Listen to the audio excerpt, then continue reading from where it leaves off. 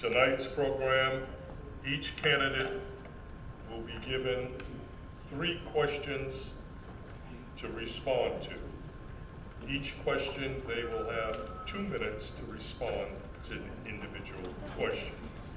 After all three panels have asked their questions, you will get one minute to explain why you should be elected councilor at large.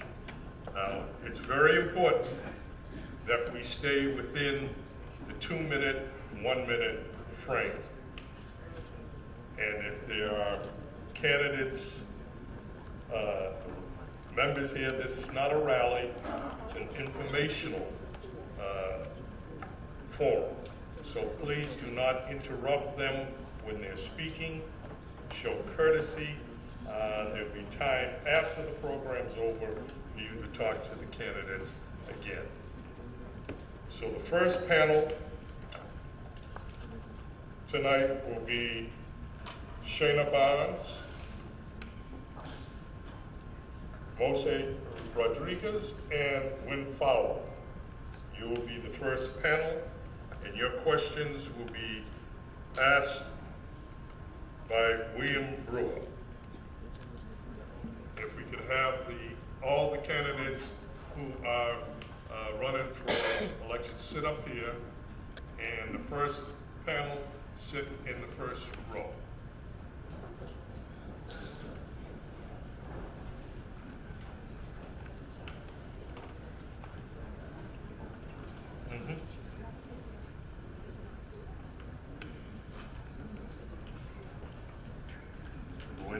Here in that panel. Yep. The second panel this evening is Susan Nicastro, Gary Keith, and Trevor Packett. They're panel number two. Panel number three is Adez Pierre, Robert Sullivan, and Craig Pina. The fourth panel will be Scott Hall and Paul Becker if he shows up. Okay, if you have the seats, first panel, you'll be given the same question. Each person will get the same three questions that are asked by the panelists. You'll have two minutes to respond, and at the end, you'll have one minute to explain why you feel you should be elected councilor at large in your panel.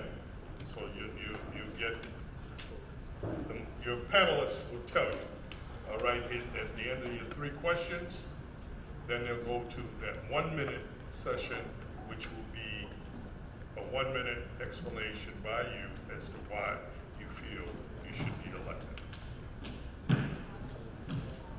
Okay, uh, William Brewer.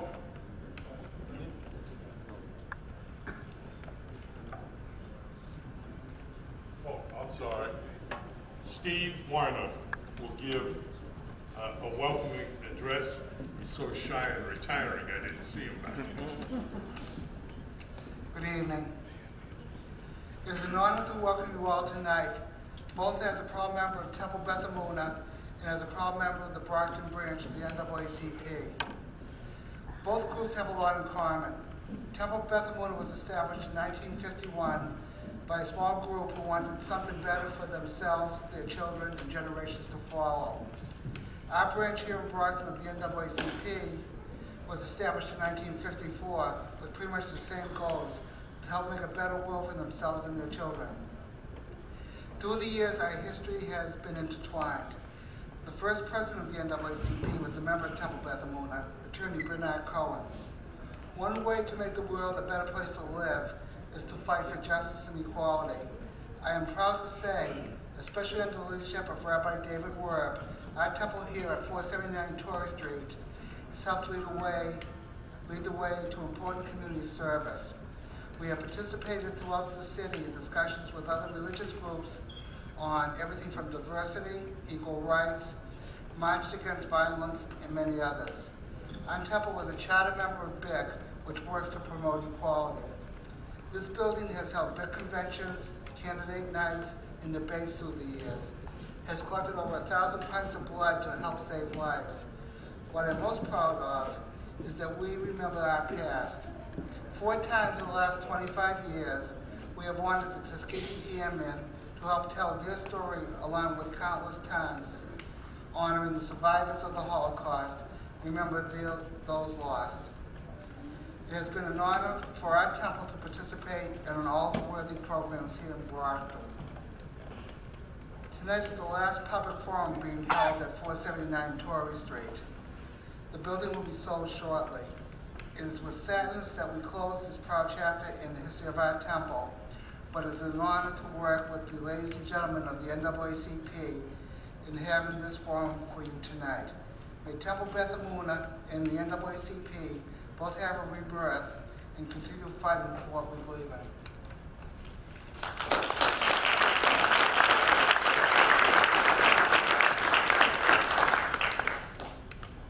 Now we'll hear president of the Brockton branch of the NAACP, Stephen Bernard.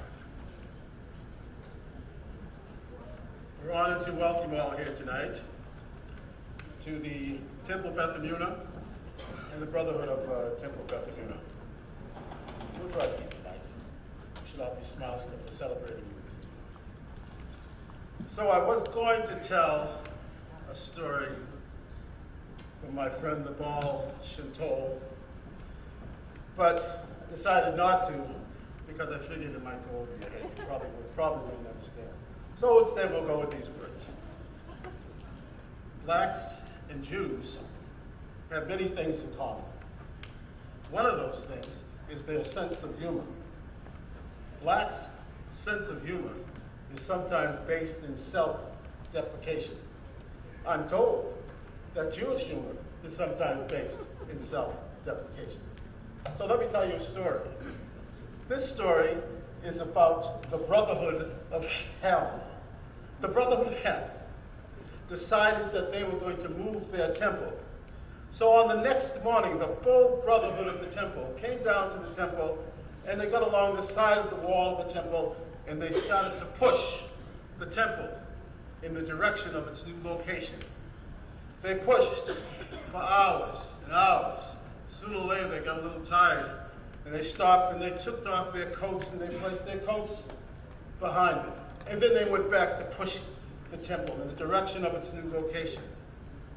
After a while, one brother said to another, I wonder how far we've gone. Another brother looked over his shoulder and said, Pretty far. I can't see our coats. Ladies and gentlemen, the temple is closing. And that's very sad. They may be as moving as far away as Randolph. But we here in Brockton want them to know that we have and hold your warmth and comfort. We have your coats. And we want you to always know that you're welcome here in Brockton. Another similarity between Jews and blacks is our appreciation for the book of Ecclesiastes in the Bible and in the Torah. It speaks of the purpose and the meaning of life, the mystery and the meaning of life. And I'm told that it's ceremonious on the seventh day of the, of the uh, Feast of the Tabernacle, the Sukkot, I believe it's called, that it is traditional or ceremonious to read Ecclesiastes. I'm particularly fond of Ecclesiastes 3, and you all know it. To all things there is a season, and a time for every purpose under the heavens, a time to be born, a time to die, a time to plant, and a time to pluck up that which has been planted. And verse 22 states that, Therefore I perceive that there is nothing better than that a man should rejoice in his works, for that is his portion. But who shall bring him to see what shall come after him? Temple Beth Emunah and the Brotherhood of Temple Beth Emunah, we are grateful to God for bringing us to this season in our lives. Temple Beth Emunah and the Brotherhood of Temple Beth Emunah, we're grateful for joining with you and partnering with you to bring this public service, this celebration of our candidates who are going to run for office to serve all of us. And Temple Beth Emunah, the least we can do, the most we can do, and all of us on my cue could say thank you to Temple Beth Emunah. I'd like all of us on my cue to say Temple Beth Emunah loud enough so the lights on the shirt seats will twinkle. Ready? Thank you, Temple Beth Emunah, and welcome.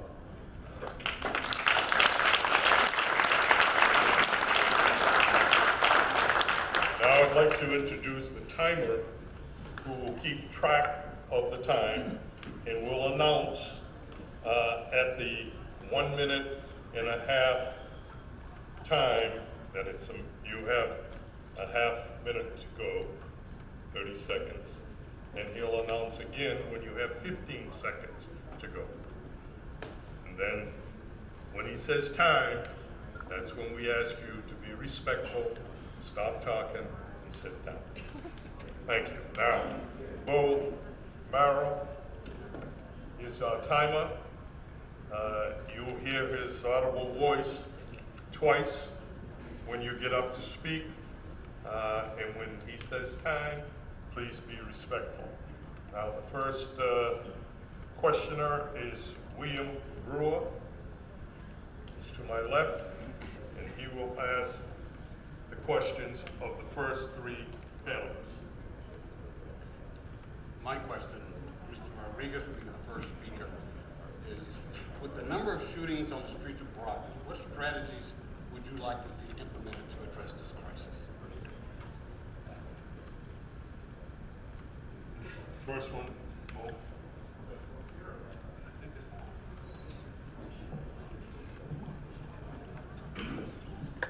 Well, first of all, I just want to, you know, thank the folks here at the temple and the NAACP for holding this. Um, I've said this often, and I'm going to say it again. I honestly believe that the issues that we have here in the city of Brockton is a community issue. It's not an issue that can be solved and solved by police and police alone. It's something that we need to work together as a community. Uh, It's clear to, to everybody that we now have more police in the streets than we've ever had before. So if the answer was more police, we wouldn't have the issues that we're having. I believe the men and women in the police department, they do a wonderful job. Crime in this city gets solved, but I'm a little worried about preventing crime. I want to work on crime prevention, and that's why I advocate for community forums where we actually bring community and community people together to discuss these issues because throwing money and throwing police at a problem to me is not going to solve this issue and I believe that only we as Brocktonians can solve this issue.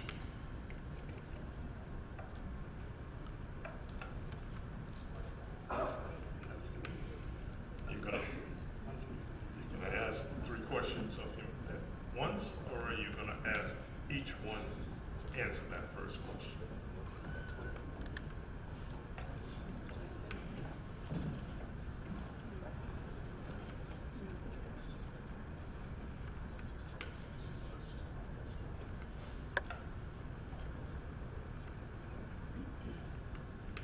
I, I'm actually supposed to be at a wake because my uh, uncle passed away, and there's a wake for him tonight on Court Street.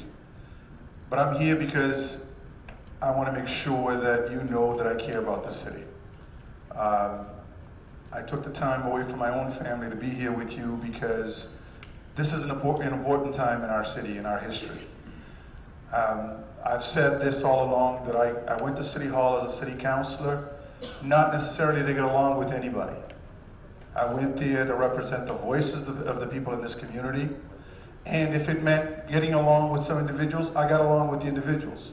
But at the same time, I went there not necessarily to make friends or to get along with the people there because a lot of the folks in this community don't necessarily want us to do that. They want us to go out and represent their best interests. And that's what I've done. There's not a single one of us that doesn't want a safe street, a, a good school, uh, a, a good-looking neighborhood.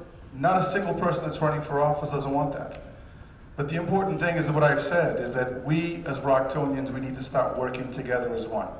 I mean, I hear it all the time, together we can, together we will, and all this other stuff. But believe it or not, if you sit down and think about it, it really works. Because we've got a community that is as diverse as diversity can be, but there's a lack of diversity input into the problems in this community. And I think we, as elected officials, the citizens of this city, we must, we must call everybody to the table so that we can turn around and make this city a better city.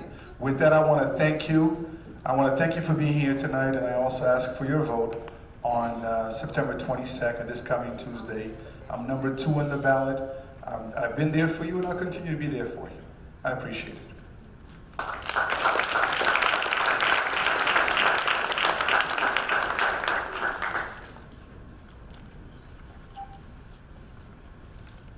Mr. Farwell, same question.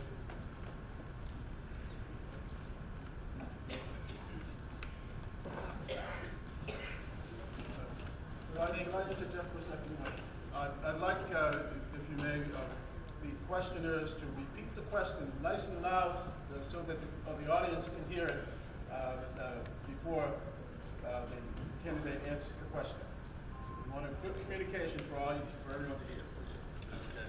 With the number of shootings on the streets of uh, of Brockton, what strategies would you like to see implemented to address this crisis?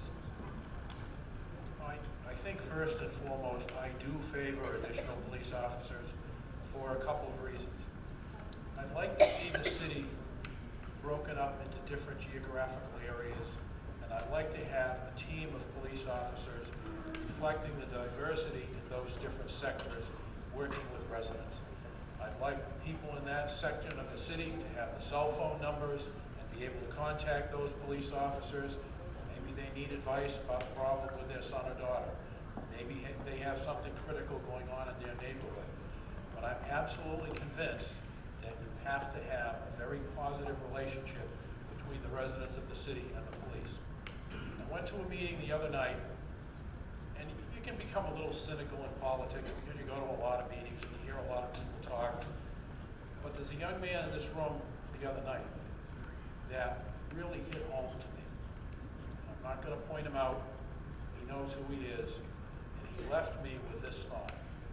We could have a thousand police officers in this city, have to build bridges with people. And we go out and we campaign, we knock on doors, and we ask for your vote, and we tell you about election day, and we tell you about our background. I think the police have to get out of their cruiser, and they have to start walking around neighborhoods, saying maybe to that young lady up in the corner of the room, or uh, this gentleman down here, hey, I'm Officer so-and-so, how's your neighborhood? Anything happened last night that I need to know about? Any issues that I can help you with? I guess what I'm saying is, yes, community policing, but I guess it's retail policing, doing the very same thing that we do to make ourselves known to you. So should the police make themselves known, ask for your cooperation, and then engage in a partnership to fight crime in the city and in that neighborhood.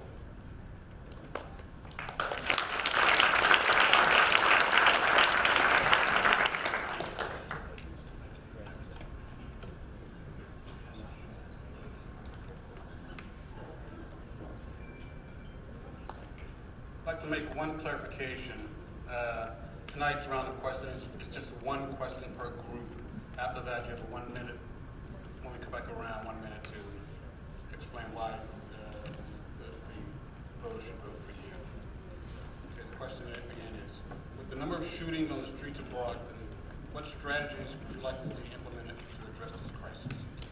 Thank you very much for um, holding this forum, and thank you for that question.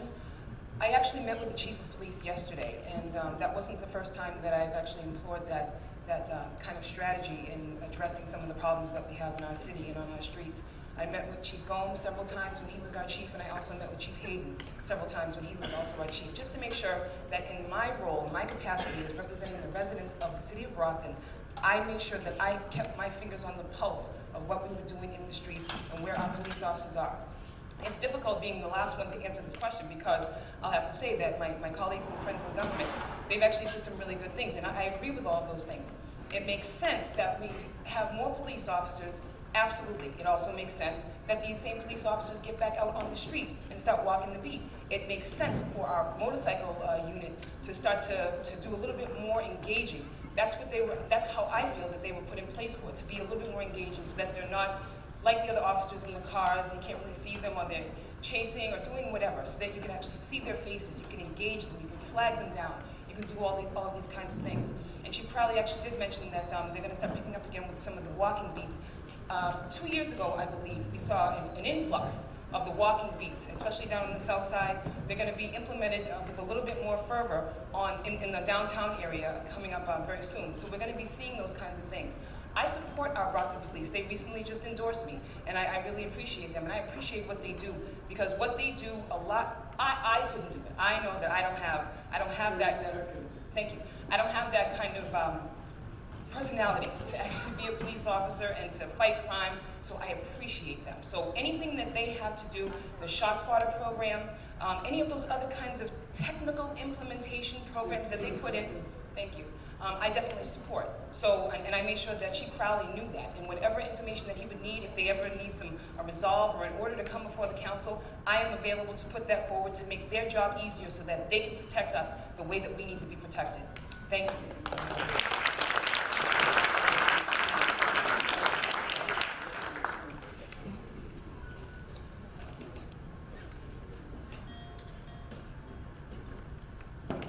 Next group up will be panel number two, Susan Nicastro, Gary Keith Sr., and Trevor Packett. And your questions will be asked by Patricia Monteith. When you get up to speak, would you please say your name so that the uh, audience will know who's answering the question? You're gonna have a one minute. What's that? No, stay right where you are. Getting more exposed. We're going to shift, shift the topic to economic development um, in Brockton. And Susan, what ideas do you have on how we can bring more businesses into the city, and how would those plans affect minorities? Thank you for that question, and thank you for the opportunity to be here this evening. I've been coming to Temple Beth Emunah for many years for a lecture series um, sponsored by Joe and Leslie Cohen. It's wonderful to be in this room again. How sad that this temple is closing. So the question, that, my question this evening has to do with economic development. A very big question. I believe we need more economic development to bring jobs that pay a living wage to our Brockton residents. Um, I, if I'm elected, or I should say when I'm elected councilor at large to the Brockton City Council, I intend to work with the planning office, the Planning and Economic Development Office, to partner with them um, to, to make a plan to look for suitable businesses, businesses we can all agree upon and, and get behind to bring jobs to Brockton. Um, now, I don't know if you're all aware of this. Last year, I finished five years on the Brockton Planning Board and two years on the Zoning Board of Appeals. And in that time, I had the opportunity to review a lot of proposed projects in Brockton. By and large, most of them were housing projects for Brockton. I worked very hard to maintain and improve the, the quality of Brockton neighborhoods.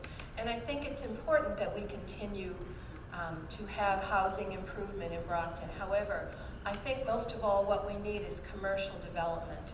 I would like to see us expand the, the diversity of businesses here. Right now we are home to pharmaceutical businesses and food manufacturing. We are home to auto sales and service. Um, we also have um, a number of smaller businesses, healthcare businesses and hospitals. I would like to see us expand our, our uh, presence in those areas. I personally supported the expansion at Massasoit Community College of a new buil- building that would train people in the healthcare industry. And I would work with the planning office, I would go to the State House if I had to, to support the delegation in persuading the governor that we need that building to train our people, um, to bring jobs. Thank you.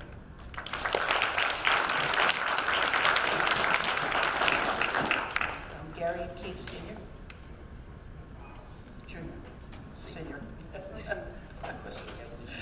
Absolutely. Um, Again, uh, along the area of economic development in Brockton, what ideas do you have for how we can bring more businesses into the city?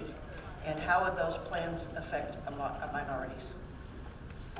First of all, before we can bring any business into this city, the previous question that was the first group basically was uh, public safety. We cannot attract any new development here into the city. They don't want to come because we do have the crime that we do. So we have to, uh, we have to basically look at our public safety. We have to attack that. We also have to attack um, programs for our youth okay, because I believe that our youth uh, not being in programs ties into our public safety. Once we um, attack those areas right there, then we can go out and we can actually look at bringing in um, good uh, economic businesses, because this used to be the shoe capital of the world. And I believe that we still have some built businesses sitting right here in Stoke, and uh, we can bring back shoe companies. We have the buildings that were already uh, set up for those and zoned for those. And um, I think that with the right, with the public safety being in the right area, we can actually attract some viable um, businesses, commercial-based business like that. The other thing is that as far as minorities go, we can no longer just keep opening up little mom and pop stores and, and parking garages. We're better than that. Okay, this is Brockton. Again, this is the shoe city of the, of the world. We need to go after commercial-based businesses. I think the, um, the mayor is working to do that. What he needs is a city council that is seated there, that's actually not going to go against him and not say no, but to say how we can bring in these businesses. Um, we had one of the city councilors that actually went out and brought in Market Basket and brought in, uh, a couple of other businesses. So you have to go and knock on doors and you have to tell them who you are and what you're looking to do. Offer them something that's attractable to them and see if we can get them into our city here. Thank you.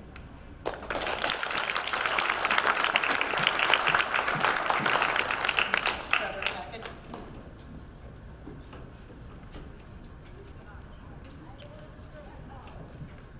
Okay, Trevor. We're going to stay with the same question about economic development in Brockton. And what ideas do you have, Trevor, on how we can bring more businesses into the city, and how would those plans affect minorities? Well, thank you for that question. Uh, For those of you who do not know me, I'm Trevor Packard, running for councilor at large. Um, Economic development is a serious issue in the city today, almost as serious as the public safety issue that we have. Um, If I'm elected, I will work with businesses that are looking for new expansion opportunities and talk with them and see what we can do to bring them here into this great city of Brockton. Um, Driving through the city, you know, everybody sees it. We have empty businesses, we have empty warehouses, we have empty factories. It's time that we fill these with businesses that are going to provide jobs for our citizens, but that aren't going to be detrimental to us as a society. You know, we can bring in a project here that's going to provide 35 jobs, but if the people don't don't want it and it's not going to be good for us as a city, then why should we do that? We also need to speak with the businesses in Brockton here who have been here for you know 30, uh, 45 years. We we have businesses that were created here, you know, little, little mom and pop stores, but also corporations that wanted to be here in Brockton, that have their main offices here, here in Brockton. I think it's important that we as a government go and speak with, with them and see what has kept them here for such a long, uh, long amount of time that has provided jobs to our, to our citizens for 30, 40 years. Um, as far as minorities go, you know, it's, it's important in Brockton that we get them involved, not just at a, at a younger age, but that we, we do provide them stability and jobs going forward. Um, you know, we, we're a city that prides ourselves in our uh, diversity and, you know, the great people here. But if, um, I mean, we can pride ourselves on that, but if we're not providing them with the opportunities that they need to thrive here in the great city of Brockton, then we're really not doing them any good. Um, so as far as economic development goes, I think in the next two years, if I'm elected, I will be able to attract new businesses as well as keep the older uh, businesses that have longevity here in the city. Thank you.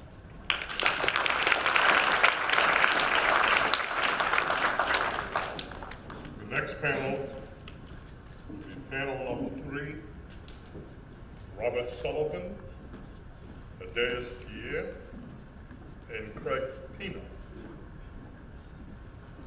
Your moderator, uh, and your questionnaire, question asked by Janet Travis. Janet?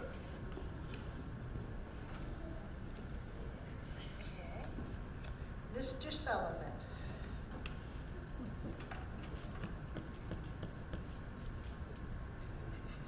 Brockton has a population of over 100,000 people. It is a very diverse community. As a candidate, what strategies would you use to address the diversity challenges and how would you promote better understanding between all Brocktonians? Uh, That's a great question. First of all, thank you for coming here tonight. My name is Robert Sullivan, and I currently am one of your councilors at large here in the city of Brockton for the last 10 years, and I am uh, proudly a a candidate for re-election. Um, You know, my my grandparents came here, they were immigrants, they came here from Ireland to work in the factories. Uh, Brockton uh, has been stated as the city of champions, it's also a diverse community. It's just a different wave of immigrants here now in the city of Brockton. We have great people coming from Haiti, great people coming from Cape Verde. Um, You know, we need to have a collaborative approach. We need to have different uh, coalitions working together. Because listen, someone said to me the other day, why are you still living in Brockton? And my answer was simple. It's my home, it's your home, it's our home. So we need to make sure, number one, our home is safe. But we need to make sure that our home is, is inclusive to everybody. Okay? Everybody. I'm a proud graduate of Brockton High School, uh, class of 1988. And uh, Brockton High is a shining star in the Commonwealth, but more so in the nation. We need to be able to make sure that the people that are here in the city of Brockton, those that are vested here, living here, working here, first of all, feel that they're included. Included in government, included in the community, because it's our community, it's a community of one. Uh, so when we have such a great group as the NAACP and the Temple, uh, we have BIC, uh, we have a lot of houses of worship. We need to make sure that everybody is working together. Communication is key in the Commonwealth, but more, more importantly, in the City of Champions. So my answer is simple. I'm a Brockton guy. I married a Brockton girl. We're raising our three kids here in the City of Brockton. We didn't flee. This is home, and it's your home, and I want to make sure that I can be re-elected, serve on the City Council for two more years to make sure that our home is the proper home, and I'm going to work with you and for you at all times. Thank you.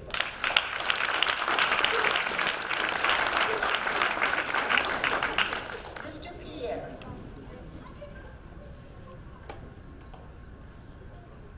Same question. Brockton has a population of over 100,000 people. It is a very diverse community. As a candidate, what strategies would you use to address the diversity challenges, and how would you promote better understanding between all Brocktonians? Thank you. And I will say thank you to NAACP for the forum tonight. Thank you for the temple. Thank you, for folks.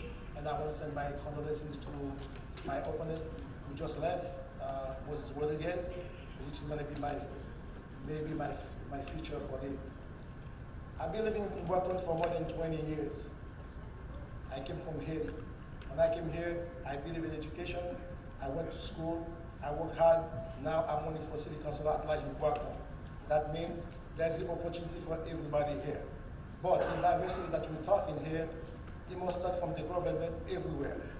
The same opportunity uh, for uh, uh, Asian or, or white people or Spanish people or black people, they should have the same opportunity to get a job. Sometimes when you go fill an application, they will private the, the act. Some of the folks scared to file the application, they think they don't qualify. We need to change the languages to make it easy for everybody. Second, we need to make the police department more diverse. We don't have to wait for, you know, the bill captain to try to make for uh, Asian, two more Asian police officers work on. We, as citizens, we pay taxes. We must represent everywhere. We must have more Haitian, more Caribbean, more Spanish to make the city more comfortable for everybody. When we go to say City Hall, we, we need to have more Haitian, more Spanish, more Canadian, the same opportunity. All we need is education, because we are one Brockton. When I become the, when I become your city councilor, I will advocate for that. The, the, the same opportunity for the child in the private school, you should have the same opportunity for my son who go to Brockton High, who go to public school. That's why we, we have to work as one. Let's create a safe atmosphere for everybody. Let, as a government, we need to represent in every every step in the way. Otherwise, we always have issues. But if we represent everywhere, we're going to have a better Brockton because we are one here. That's my vote.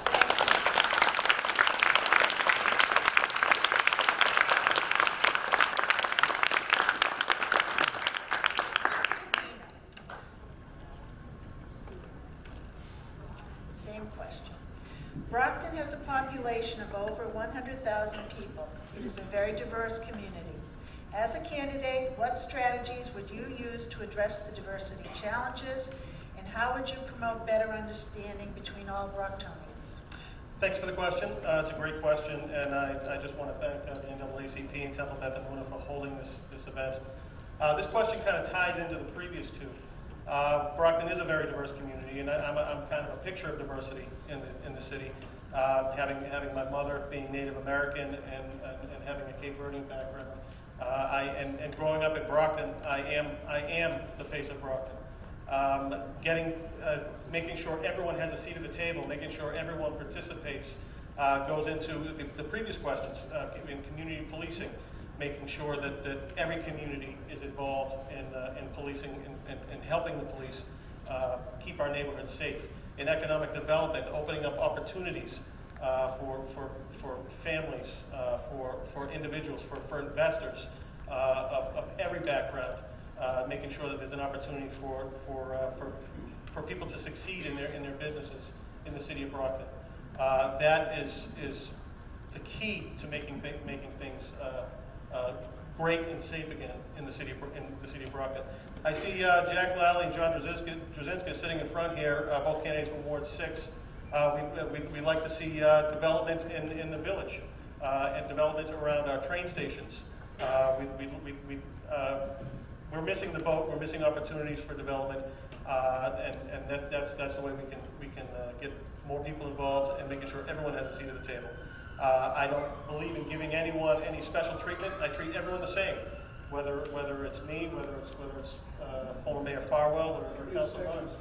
Uh, every, everyone, everyone gets a fair shot and everyone is treated the same. Thank you very much.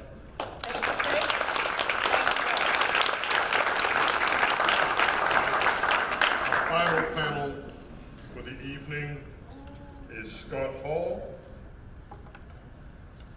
and Michael Zarella. Your questions will be asked by William Brewer. My question, gentlemen, is, is the city has between two and three million dollars, my position, two and a half million that's available this year for possible hiring of teachers, maintaining sports programs, hiring police, fire. What, as a council at large, what would you suggest these funds be used for?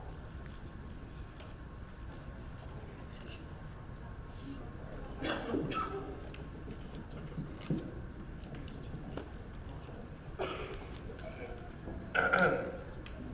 my name's uh, Scott Hall. Um, I think the greatest return on investment would be taking away antiquated technology and replacing it with newer technology, newer software in all of the departments across uh, every facet of government at the municipal level. Um, predictive analytics would benefit public safety immediately. Um, we really need to be able to go somewhere on the website and know where the crime is happening. I understand, I've talked to activists in the community, they say we can't really find any of this data online. We have to record it manually and figure it out. Um, yet the FBI has this data, you know, when they do their analysis. So I think this, there needs to be more transparency in opening up the, uh, the channels a little more, not sort of keeping it, keeping it, you know, withholding it from the community because we're afraid, you know, property values might, might go down because there's been, you know, it's reported on the website that there's been 12 break-ins on the street. Um, we, we just need to integrate technology into every department better and alleviate some of these mundane tasks that everybody keeps doing. Take away the boring stuff that people are doing, automate it, and allow more productive things to happen um, across all departments. Technology is the way to go. Invest in technology. That's all.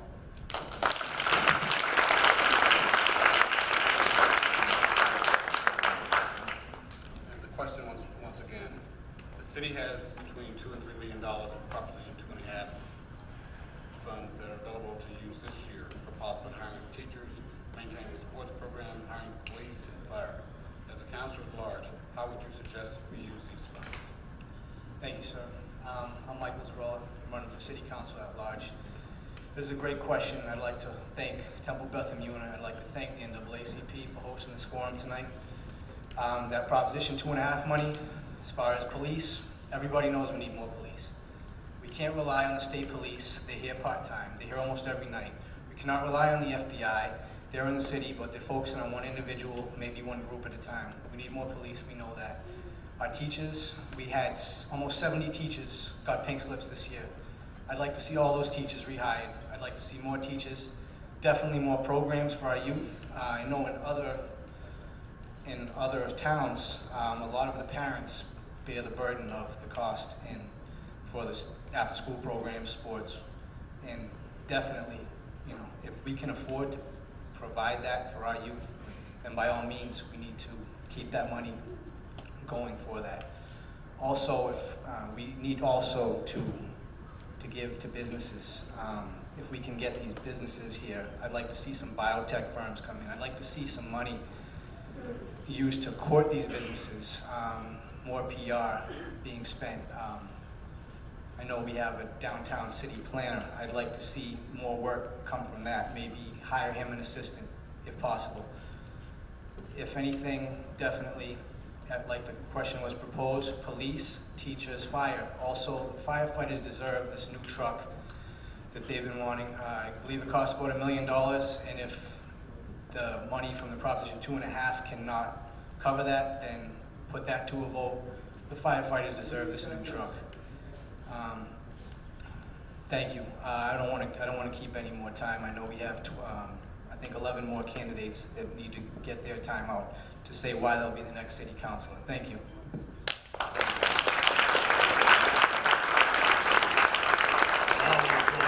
To one-minute answer by each candidate, starting from the back and moving front. You'll be up first to give your one minute.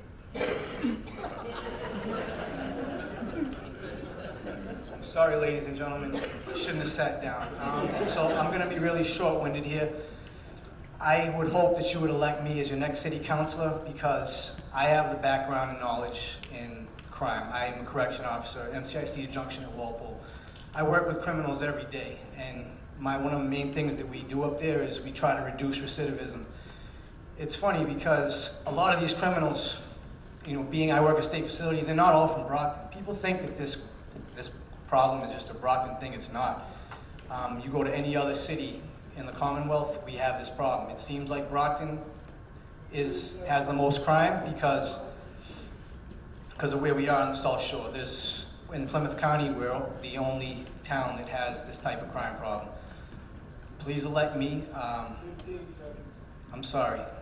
I'm gonna, I'm just gonna give the mic over to somebody else. Thank you.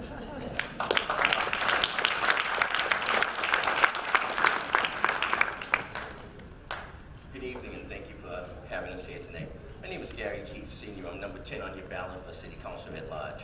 Um, I'm asking you for your vote uh, next Tuesday on the 22nd.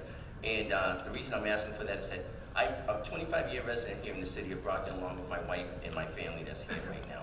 I have an extensive law enforcement background, and um, I also have, I've held offices in um, uh, self-help Head Start, and I have an idea how to bring this city forward.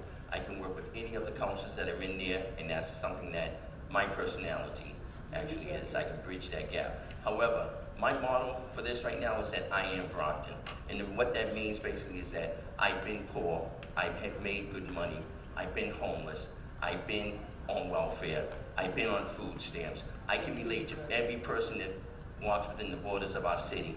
And everybody, no matter if they're homeless, laying in the, in the uh, doorways at night or whatever, everyone in this city needs representation. And I want to represent everyone here within the city of Brockton. I am Brockton, and I'm here for you, fight for you every single day. Thank you very much.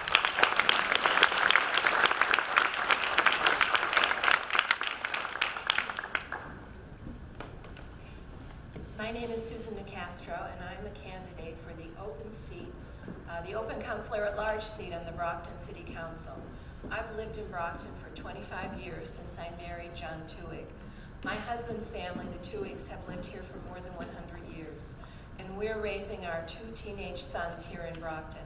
I'm very proud to say that I'm a resident of Brockton. I'm an attorney. I've practiced law for more than 30 years. My law practice focuses in real estate and business. City Council looks at a lot of contracts. Um, I, I'm also, as I mentioned earlier, I've just finished last year five years on the Brockton Planning Board and two years on the Brockton Zoning Board of Appeals. I worked very hard in those years to protect and enhance our Brockton neighborhoods. I like your vote because I have the talent, the expertise, I have the passion and the vision to be a counselor at large, and I, I would be honored to serve the city. I'm number nine on the ballot. Please vote. Time? Thank you.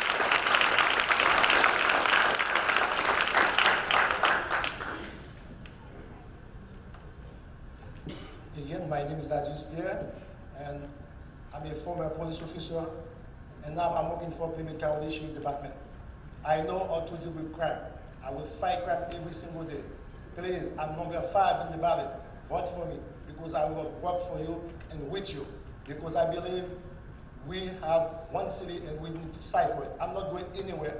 Like people who are living in the city, I'm living in the city. I will fight for my city. Please give me your vote. Because if you're tired of, uh, uh, you don't have after school program, if you're tired for giving teach, teacher pink slip while the administration getting raised, vote for me. If you want to, know, to see more diversity in the police department, in the school department, at the city hall, vote for me because I'm here to serve you, because you deserve better than that. You deserve change. you deserve change we need the voice you deserve. I will voice for you. Thank you very much. Give me your vote on September 22nd.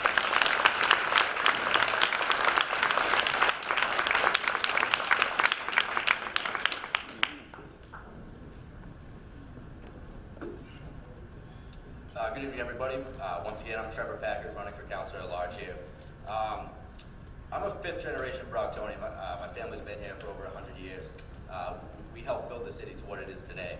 Um, If elected to the city council, I will bring my vision for the city, my drive, my passion, my my uh, my hard work, um, and the amount of time that I have. I will work day and night for uh, the city of Brockton to push us forward to what we actually deserve. Um, In in the next two years, if I'm elected, Brockton will be safer. We will attract businesses here. We will be the city that we all know that we can be. Um, a lot of people ask me uh, why I want to run, and it's um, you know it's a very simple answer that I want to push Brockton forward to what we can be. Um, a lot of people talk about graduating from high school and fleeing that they can't they can't wait to go to one of the neighboring towns and live live there in peace. And you know I I always said that I can't wait to graduate and make Brockton a better place and uh, give the people what they deserve.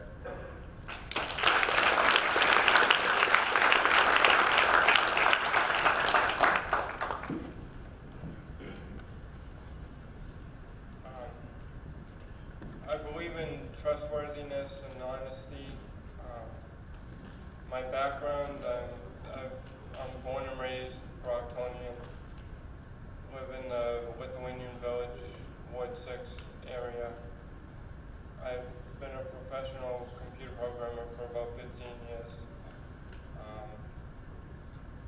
I'm not good at, you know, I'm not a salesman, I'm not good at selling things. I, I just feel I bring a lot to the table when it comes to technology. Uh, I'm currently a database programmer at Brigham and Women's Hospital.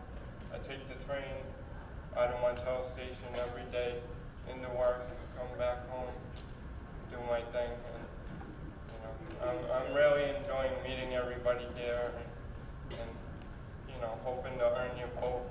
And I guarantee, if you vote for me, I'll make you proud. And, you know, we'll restore dignity in Brockton.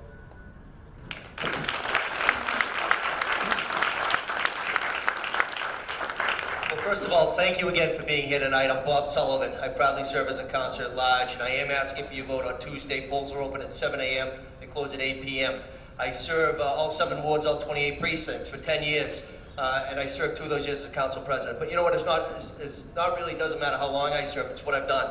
Have I been productive? Have I been dedicated? Have I been vocal? Have I always gone to bat for the citizens, the people? I have, because I'm your voice at City Hall. I don't always get along, but I do the right thing. Reputation and family, the two most important things in my life. I went to bat for the seniors and the veterans. I had an ordinance uh, enacted in the city of Brockton. Now, seniors and veterans can volunteer. They get a price reduction on their real estate taxes. I also went to bat and said, listen, let's do a fiscal measure. Think outside the box. Save the city hundreds of thousands of dollars a year. What I did was I said, buy the streetlights. We did that for 44000 We saved 650000 another half million last year. So when you go to the polls, if you're a Democrat, Republican, unenrolled independent, please do your civic duty. Go to the polls on Tuesday. I'm number one on the ballot. Robert Sullivan, proudly serving Concert Large, City of Brockton. Thank you. God bless you all.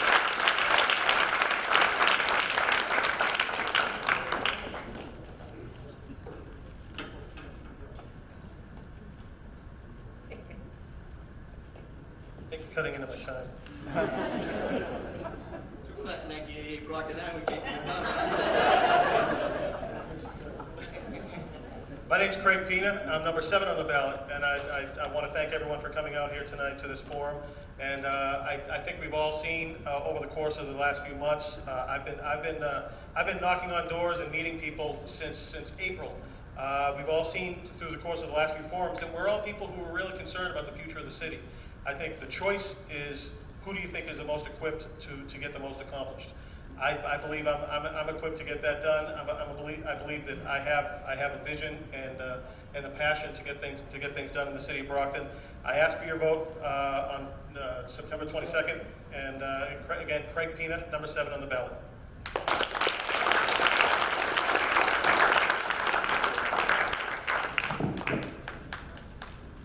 I'm going to echo colleagues and friends in government and thank the the NAACP and Temple Beth Emunah for holding this forum. Thank you all for coming and thank you for watching at home when this airs again.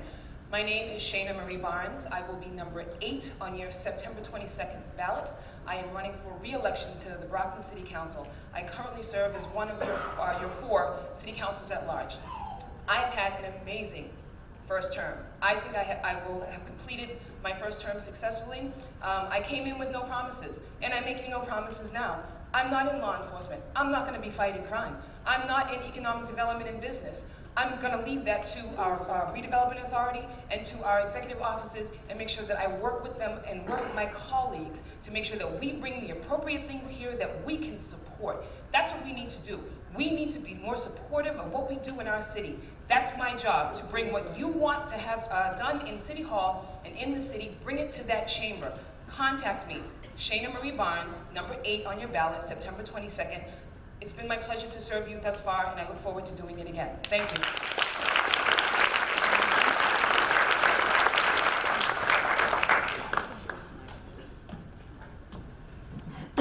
I'm Farwell, and I have been blessed to serve as your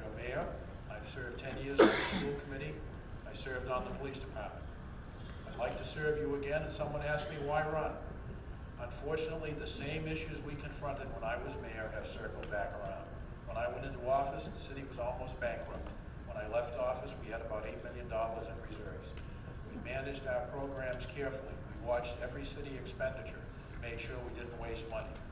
Now, I don't have an answer for every problem in the city, and I'm not going to stand up here and pretend that I do, but I'll take each issue that comes before the city council.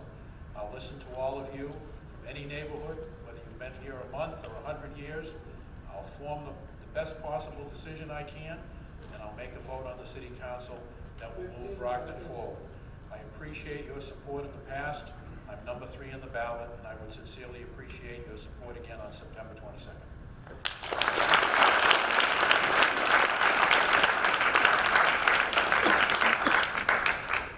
That concludes the first set of our forum.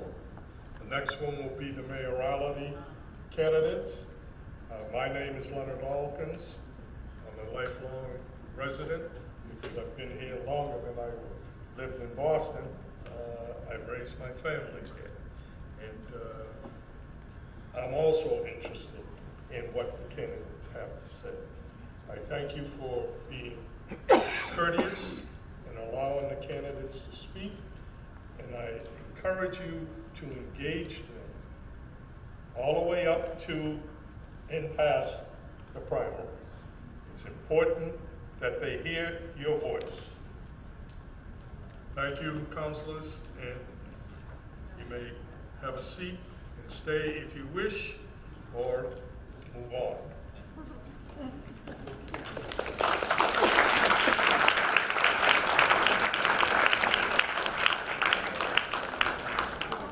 First of all, I want to thank the candidates who are running for mayor.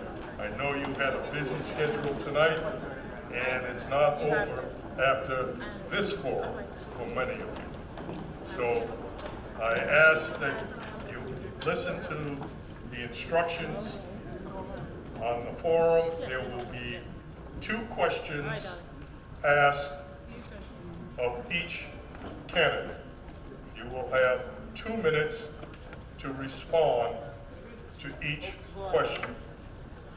After those two questions are asked of all four, you will have a two-minute timetable to give your reason as to why people should vote for you to be mayor of the city of Brockton. The panelists who will be giving you your questions this evening is Lenora Martin. Leona, I'm sorry. Thinking of my aunt. Yeah. Okay. All right, so the first question, um, and um, Mayor Carpenter, I'll address you first. Uh, Crime in the city of Brockton has increased over the past few years and doesn't seem to be improving. What strategies do you feel we should use as a large suburban city to decrease the crime so people feel safe about the city in which we live? Well, first of all, I just want to, can I possibly get this off? Well, good evening, everyone. Thank you very much uh, to both uh, the Temple and to the NAACP for hosting this uh, forum for us this evening. Uh, I had the pleasure to be here on Sunday to speak with the Men's Fellowship here at the Temple, and I think uh, I'm here with mixed emotions tonight as we look forward uh, to the merger very soon uh, of the Temple with uh, Temple Beth Am and, and Randolph. And uh, this temple's had a great history here in the city since 1971. Uh, the question regarding crime, we're doing it. We are investing in technology. Uh, we've done that with new fingerprinting technology. We are uh, installing video cameras across the city. Uh, and most recently today, we went live with ShotSpotter, five square miles of a gunshot detection system that will greatly enhance the police department's ability to respond to a gunshot incident. Uh, it takes more than just investing in technology. This morning, again, we had a successful raid and arrested a uh, crack dealer. And uh, the additional activity, we have doubled the annual number of search uh, warrants for drug raids uh, this past year over the year before because we've added three detectives to the narcotics unit. We've added two detectives to the gang unit. So we are, uh, we're assigning the resources where they're needed most. And uh, we do need more boots on the ground, and we've been consistent in saying that all along. We have nine cadets at the police academy right now that will be graduating on October 30th and sworn in on November 2nd as police officers. We had planned uh, to hire six more. We had, we had requested a list from civil service for six more, uh, but the day before yesterday, I directed, uh, Chief Crowley and I directed our personnel director to double that number to 12. So we are going to uh, add 12 officers in addition to the nine at the academy. And so that in a space of less than a year, we will have added 21 new police officers uh, to the force. So uh, we are coming at this from every angle. We need both short-term and long-term solutions. Uh, and we're working on both. So everything from working with young people at the front end to reentry programs at the back end. And uh, we'll, we'll continue to fight this fight. We're fighting crime, and we're fighting the fight every day. There's no more important issue in this city Crime. than public safety.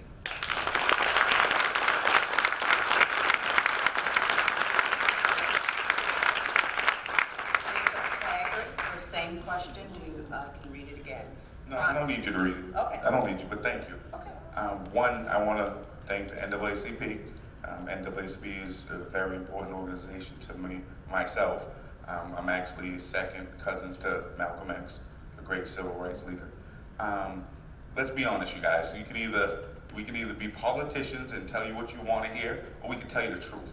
We can tell you what you guys know really is taking place in Brockton right now. Right now, we have to worry every time our children go outside to play. When my, when our son, my wife is here, my daughter's here, when our son goes to play hide and go seek, we have to be concerned for our son. And that's the truth. That is the, the dead truth in Brockton right now. The streets are out of control. We have shootings every day, just about, some days several shootings. Um, I had to watch, which some of you did, watch the video of the, the young man who was shot in video, you know, on video, right by the high school. I mean, that's the reality that we're facing. And it's great that we want to fight crime, which I agree. Public safety is the number one priority. That was what the current mayor ran on last year. And you're finding out it's not that easy. It's not. But the problem is, is we're fighting crime, and again, that's important, but we need to start doing things for these kids. We need to stop looking ways to prevent crimes from happening. We are being too reactionary, okay? We're not being proactive. What are we doing for our young people? What opportunities are we giving our young people? Again, we can say what's, what's good for TV, or we can say the truth. The truth is what you guys all know. Hundreds of bullets on the streets. People, seven murders. This is reality. It's reality. It's reality, thank you. It's reality for my wife and I to worry about our children when they go outside to play. And, and again, our young people that are here today, we need to be proactive in what we do in this city. And also, it's great to invest in all this technology. Yes, we need to invest in technology. We need to invest in people. Okay? We have a ShotSpotter, which is an upgrade, but we don't have the police to be able to react, react to it. Invest in people. Okay? I'm here because I'm worried about my family and I'm worried about yours. Thank you.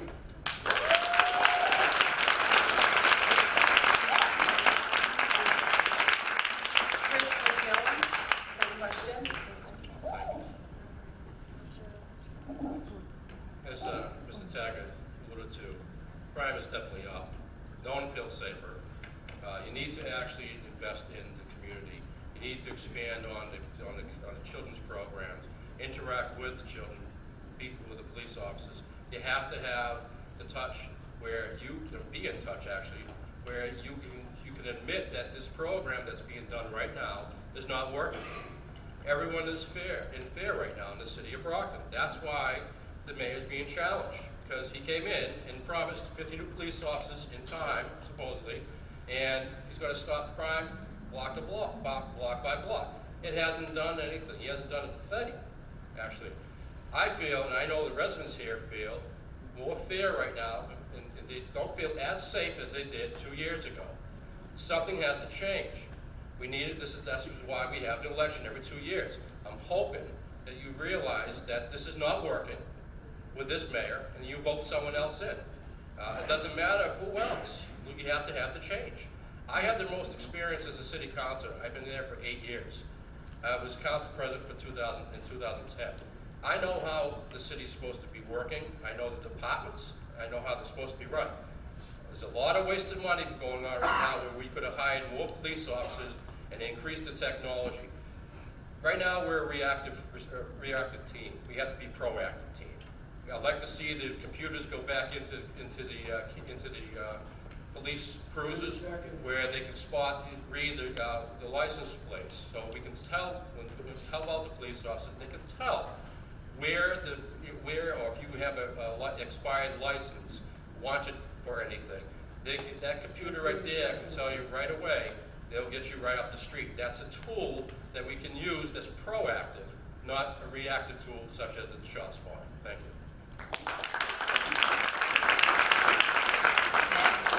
Mr. Hosford? Hi, yes. Uh, I just want to start saying thank you very much for having us up here. And uh, as far as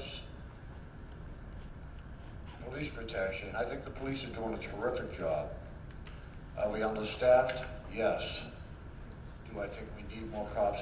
Yes, absolutely. But we need more Indians and not, not, not more chiefs. But I know that's required. But at the same time, I think we need more community effort. We need more com- community participation, you know. I would like to see block moms come back. I'd like to go ahead and see uh, neighborhood watches come back. I mean, people need to go ahead and not be afraid to go ahead and report the crimes that they're seeing. Because you're, you're witnessing this stuff, but you're afraid of retaliation, and there shouldn't be. This is exactly what the criminals want, you know. They, they want, to- want you to go ahead and be afraid to go ahead and report it. And people need to go ahead and realize that. And that is my vision, and I, I you know, I'm, I'm totally for neighborhood watch, I'm totally for block moms, I'm totally for just improvement and more community accessibility and community turnaround being more active. Because that's what it takes to build a city. Thank you.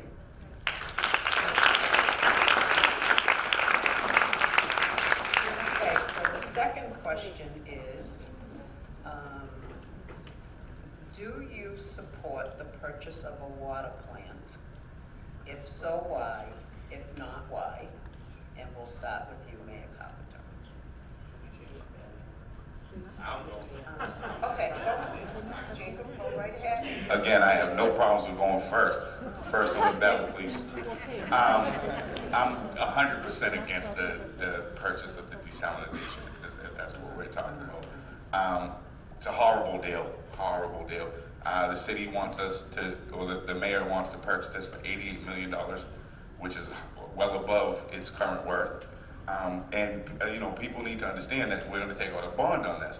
So that money could turn into, will turn into approximately hundred and ten to hundred and fifty thousand anywhere, I mean, hundred and fifty million, anywhere in that area, that we would be paid, we would have to pay over the twenty or the thirty year period. So we're gonna be on the hook for this plant that we don't need.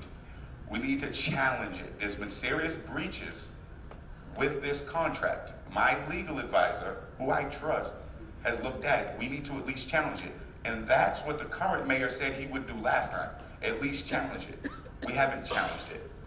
We've accepted it and said, no, we're gonna purchase it. I mean, if, if I go to the, to McDonald's and get something on the dollar menu, I'm not buying it for two dollars. It doesn't make any sense. That's what we wanna do. You wanna buy a facility that's been priced at less than what, it- what we're talking about, four times. It, it just doesn't make sense. I would definitely be willing to challenge that, and that's something I'm planning on doing from day one. Um, and if need be, we restructure or whatever, but it needs to be challenged. So I am against the purchase of the desalinization plant.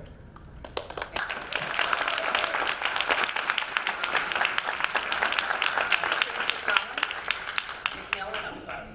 Well, worse. Uh, This Aquaria uh, desal project is, is, is a burden for the city of Brockton. It's not a good piece of equipment to, to start. Uh, The desalinization plant right now is, cannot, put- cannot put out what we're looking for. Uh, To purchase this plant, it, it, it bonded out at the old bonding rate, because our bonding rate has been reduced now because of poor fiscal management of the city. So with the old bonding rate, it was for a 20-year bond for this uh, $88 million, it costs $110 million. For a 30-year bond, it costs 150 million. So that's not in, on my page. It's not even on my radar. I would not entertain that at all. Uh, I, my plan is to have the state take control of this plant, where we can ma- manufacture, or a committee such as the MWRA, to purchase this plant or take it over, where we can go in and pay as we, as we pull out of there, as we pay as you go, basically. So this purchase of this plant, uh, two years ago was $60 million. I asked the CFO, where's the money coming from? Where's, where's this price tag coming from? He had no idea. He thought 30 million was uh, excessive. So now the CFO is telling everybody, and all the counselors here, that $88 million is a steal. Yes, it's a steal for the company who's trying to sell it. They're stealing from us, the residents of City of Brockton. I will not entertain selling, uh, buying this pro, uh, this, this project at all. And I, I agree with Mr. Taggart, there has been some flaws in the contract, which we should go after. But to purchase this is, is uh, quite honestly uh, bad for the city of Brockton, and you're going to be paying out m- millions more than you're doing right now. Thank you.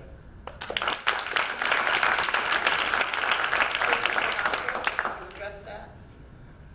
Yeah, as far as the Arcadia deal, I, I turn around, I just feel that's overly excessive, and I don't think that is a good investment for the city. Uh, I look at the town of East Bridgewater, who just recently had a water main break, and they drew water off of that plant, and they didn't turn around and say that they were gonna go ahead and buy it. Now, why are we gonna purchase, are we going into the water business? I mean, why would we purchase something for eighty-eight million dollars? You know, I just feel that's excessive and unnecessary. That money can be diverted to the school system, it can be diverted to, uh, wherever. It could be, put more patrolmen on the streets. I mean, it could, it could be used in so many different ways. And I just find that excessive, and I, I don't think I ever would have signed a twenty-year contract. Maybe a five-year contract, if possible, you know, but I mean, I don't understand the terms of, you know, you know, what, what the agreement was and how you're supposed, you know,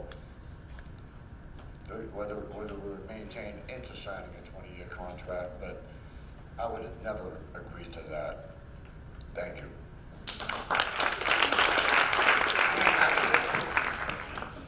Well, I think it's important to clear up a lot of uh, misleading statements uh, that have been made in this discussion.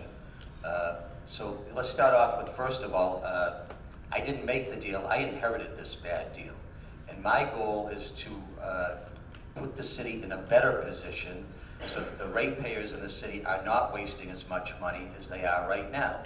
The city cuts a check for over half a million dollars a month to Aquaria, whether we use any water or not. Uh, In terms of the deal, there is no deal. A deal has not been made. There's a letter of intent. It's the very first step in a process that may or may not lead to a deal.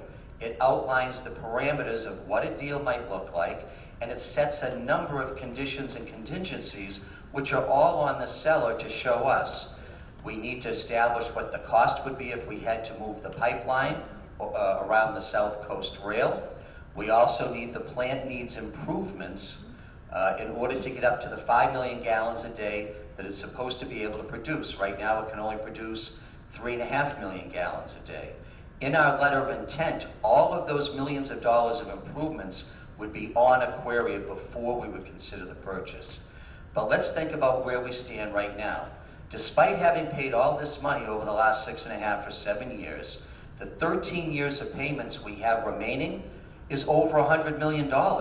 We're going to pay another 100 and some odd million dollars additionally going forward. I'm trying to look at a way that's a better deal for the city. And it's like buying a house or renting a house. What no one is considering in these numbers is what's the value of the plant at the end of 20 years that we own. Because the way we're doing it right now, we give them another over $100 million. You know what we've got in 13 years? Nothing. We've got rent receipts, and we still need a second source of water.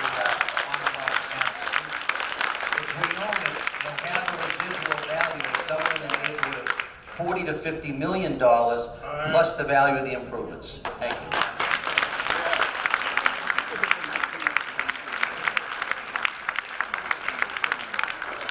Okay, so the final question is, uh, why should we vote for you? And why don't we start with uh, Christopher Hockland? Hi, Christopher Hockland. Been a lifelong resident here for fifty-three years. I've seen my community turn around and rise, and I've seen it fall. And right now, it's falling. And it's upsetting to me. You know, I, you know, I just can't get over the way the crime rate has gone up. And people are just generally afraid to go ahead and report it and it's beyond me because I sit on my front porch and I tell you what, if I see a crime happening, I'll call up. And people have to realize that they don't- need to go ahead and call up and give them their name. They can call up anonymously. And they can just call up and turn around and witness a crime and turn around and report it. Because this is a big factor. It's a big problem in the city. And people have to go ahead and correct it as a community. I mean, you all want to go ahead and call yourself community activists. Well, be active. Be part of the community and go ahead and do your, you know, your civil duties.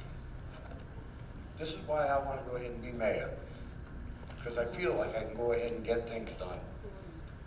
I feel like I can go ahead and contribute to the community, and I'd appreciate your support on the 22nd, and I thank you very much. Uh, Next up, Jacob Taggart. Why should we vote for you? All right, so I've had prepared speeches, and what I've found is just to be yourself.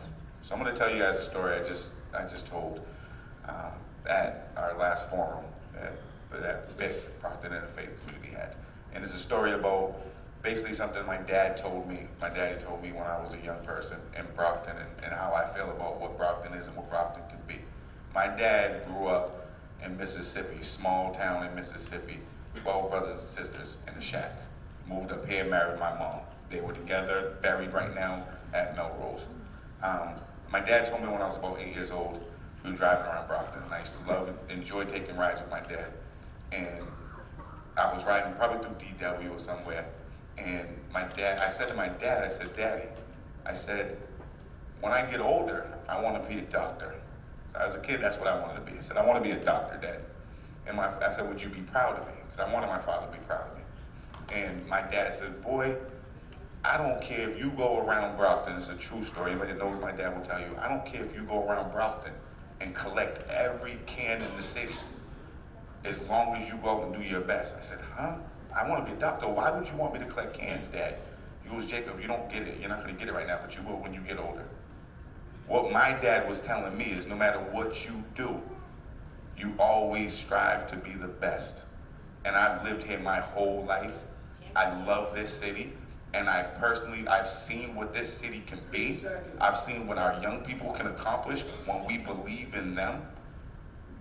I believe in Brockton. I believe Brockton is the best city in the state of Massachusetts.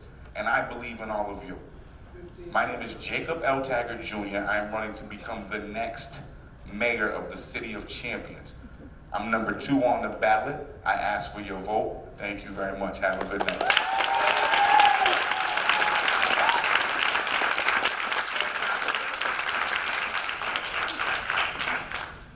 Well, I don't think I'll use my uh, usual closing statement uh, either. Uh, I'm running on my record. I've been your mayor for 20 months, and uh, I don't think anyone thought our administration would change the world in 20 months. But we've started a lot of good things. And I won't take the time to talk about the jobs we're creating, the businesses we're bringing to the city, how we're cleaning up neighborhoods, how we've tackled the foreclosure crisis, uh, or any of the other great things that we've started in our first 20 months. I think tonight this forum is being hosted here in a Jewish temple by the NAACP.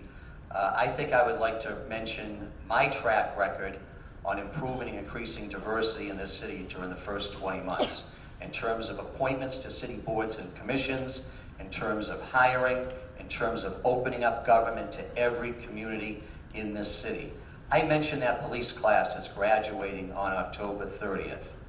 Nine officers that were selected. Five are bilingual, seven out of the nine are minorities, in the history of this city, it's the first time, the first ever minority-majority class of police officers in this city, and I'm proud of that. Two weeks ago, I sent up eight nominations to the city council for various city boards and commissions, all important appointments. Eight.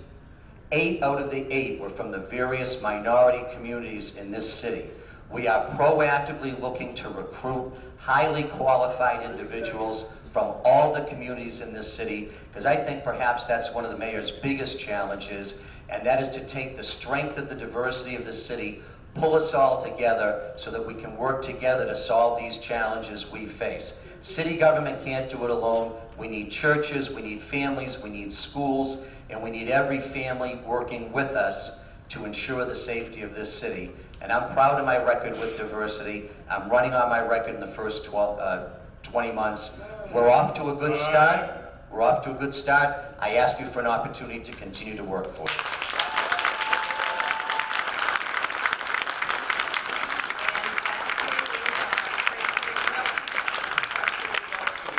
I want to thank the NAACP for hosting this along with the Temple Beth and Moon. Um, I'm running on my experience as a city councilor, as a former city councilor. I was there for eight years. I know the intricacies of the way the city's supposed to run, and I know why and and how it's not being run correctly. I was a council president, president for 2010, uh, which my, my colleagues, they nominated me knowing that I, if the mayor did take off, that I would be serving as the mayor while the mayor was out of town. So, with the experience, that's why I'm here. I'm also here because I'm passionate about this city. We don't have a good city right now. I'm sorry. It's crime is up right now. Oh, Go ahead. Crime is up right now. I love this city, but we are going, we are going down the drain right now if this administration continues. Uh, bond rating has gone, has decreased. Uh, police officers are not getting what they need to do. The, the, pro, the programs they have in place for our police officers to try to help them out are not working. When are you going to realize that? And you're going to make some changes. Then hopefully it's- the residents for the city of Brockton will make the changes on September 22nd and elect some, uh, two, hopefully one of the three here, and besides the mayor, to, to go forward with this. We need help. The city of Brockton desperately needs the help. I have the experience to help out the city. I have the passion to help out the city, and I love this city. I, it's really, really affects me uh, mentally and personally that we I watch this crime and the shootings go up. You know, I was told these, these crimes, is it a crime where they shoot or is it just an incident? It's a crime. Don't let anyone put the spin on it. The city is not doing well right now, financially or with the crime. So I hope on the 22nd, September 22nd, next Tuesday, I'm number one on the ballot. Chris Macmillan, please vote for me. Thank you.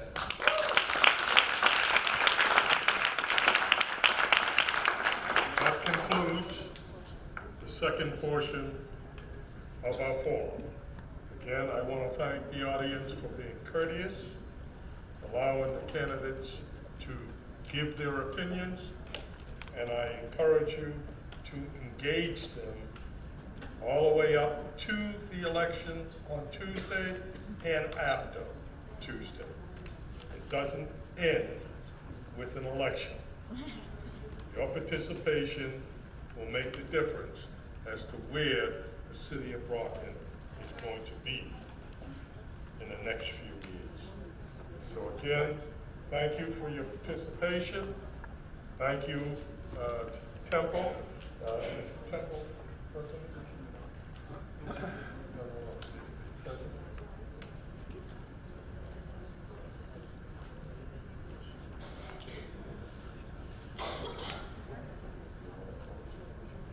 I'd like to bring the president of the Brockton branch of the NAACP, Steve Bernard, to give closing statements.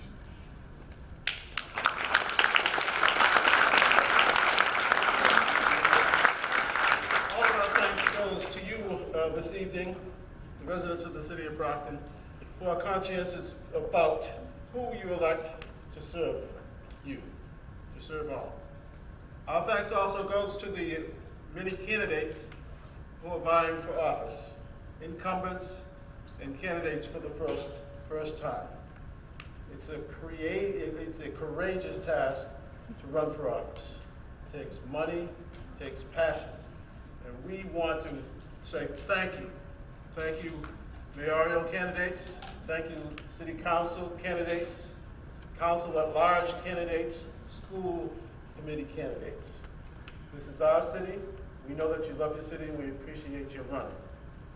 A very special thanks to Temple Beth Emunah. This beautiful building is being sold. A brotherhood that's been here since 1951 has made a decision to uh, possibly merge with another brotherhood. The demographics of the city are changing. We want to make certain that the demographics uh, in the future of the city are positive, such that maybe the Jewish community will grow again here in the city. To Temple Beth Emunah, we thank you, we thank you, we thank you. We thank all the members of the NAACP, and again, I thank you all residents for coming out tonight. And don't forget to vote on September 22nd and encourage all of your friends and family